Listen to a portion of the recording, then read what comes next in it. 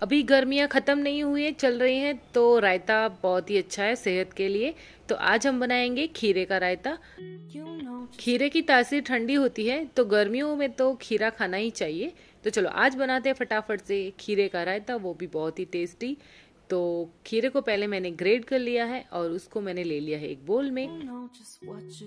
और अब इसको और ठंडा बनाने के लिए हम उसमें डालेंगे फुदीना क्योंकि फुदीने की तासीर भी ठंडी होती है तो फुदीना को एकदम बारीक चॉप कर लेना है और उसको भी खीरे में डाल देना है। और अब हम लेंगे दही। दही मैंने यहाँ पे अमूल का लिया है क्योंकि बहुत खट्टा नहीं होता है, मीडियम खट्टा होता है तो वो मुझे बहुत पसंद है। तो आप घर का भी जमा ले सकते हो, लेकिन वो मुझे ज़्यादा पसंद है। रायते में थोड़ी सी मिठास हो तो रायते का टेस्ट बहुत बढ़ जाता है। तो हम यहाँ पे चीनी नहीं यूज़ करेंगे, हम यहाँ पे यूज़ करेंगे कंडेंस मिल्क और यहाँ पे मैंने फ्रेश क्रीम भी यूज़ किया है, क्योंकि इससे रायते की रिचनेस बढ़ जाएगी।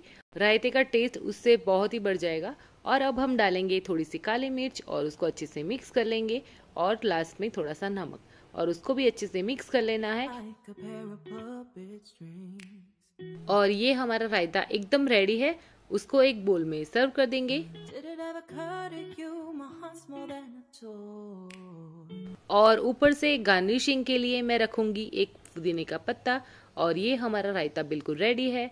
तो रेसिपी कैसी लगी? प्लीज़ कमेंट करके ज़रूर बताइएगा। Okay bye